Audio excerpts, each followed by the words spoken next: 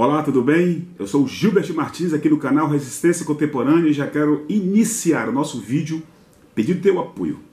Inscreva-se se você ainda não está inscrito, convide seus amigos e amigas para também se inscrever e dar o gostei. O gostei é fundamental, como a gente vem falando. Bolsonaro encurralado porque não consegue entregar a reforma da Previdência como exigido pelas elites e corporações que o elegeram resolve irresponsavelmente, criminosamente, chamar seu gado às ruas do país. Por que criminosamente, meu querido e minha querida trabalhadora? Bolsonaro não percebeu, porque sua pouca inteligência não permite, foi eleito para dirigir, dirigir um país enorme e cheio de contradições não percebe, porque sua capacidade mental não permite, que não foi eleito para dirigir um condomínio de três apartamentos. O problema é que, graças às deusas e aos deuses, somos um país gigantesco e um país de um povo que briga e está mostrando para ele, dia após dia, nesses cinco meses, que nós, povo brasileiro, homens e mulheres, negros e brancos, ricos e pobres, que pensam em democracia, vamos sair para as ruas para lutar pela democracia, mesmo sendo essa democracia burguesa que nós temos aí.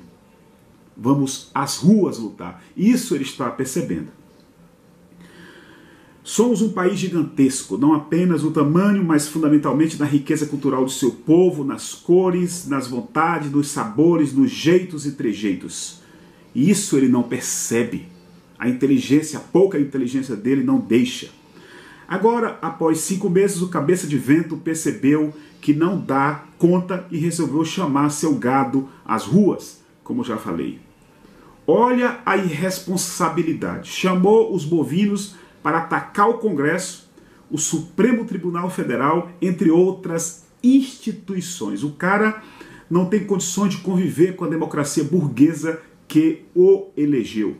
Pelo visto, pela quantidade de pessoas que saíram às ruas hoje, dia 26, acredita-se bovinos têm sentimentos.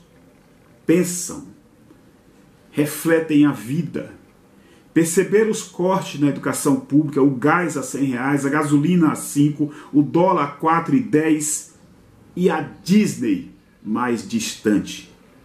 As manifestações são um retumbante fracasso. Duas mil pessoas em Brasília. A esplanada dos ministérios, Brasília, às 10h48 desta manhã, a Globo News mostrou, tinha cerca de duas mil pessoas.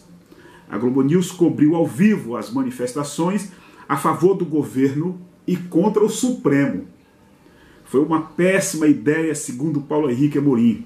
Estava tudo programado para as 10 horas, segundo a apresentadora da Globo News. Desde as 9 horas começavam a chegar manifestantes também na Avenida Atlântica, no Rio.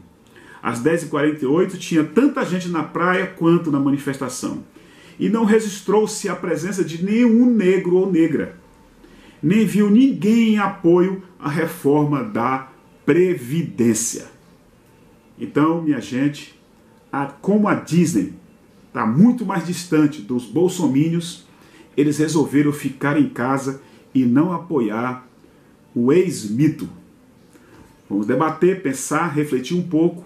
Muito obrigado e um grande abraço.